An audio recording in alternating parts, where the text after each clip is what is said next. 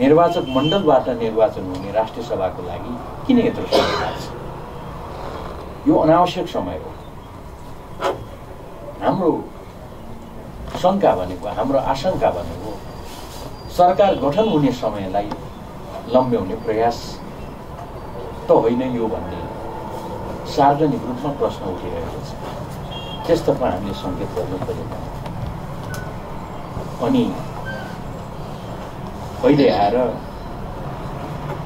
यो प्रदेशको राजधानीदेखि लिएर प्रदेशका प्रमुखहरूदेखि लिएर यी विभिन्न सन्दर्भमा भएका अप्ठ्याराहरू ढिलाइहरू तर्फ हाम्रो ध्यान गएको छ र हामीले यही प्रसङ्गलाई जोडेर शङ्का उठाइरहेका छौँ। अब हुँदा हुँदा अहिले हाम्रो जानकारीमा आएको छ। प्रदेश प्रमुख चाहिँ चोक्छौँ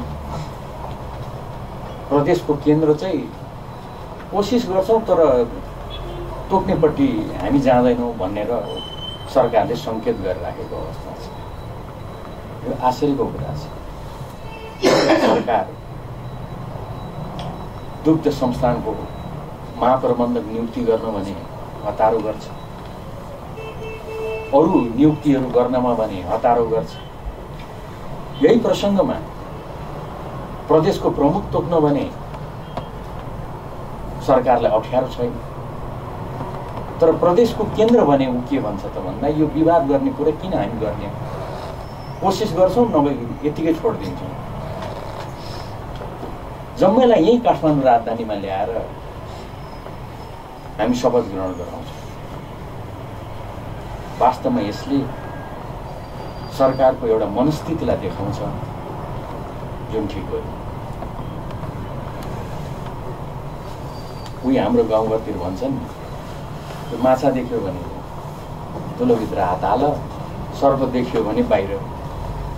भने जस्तै भयो यो एकदम बेठिकको र यो जिम्मेवारीपूर्ण व्यवहार भयो।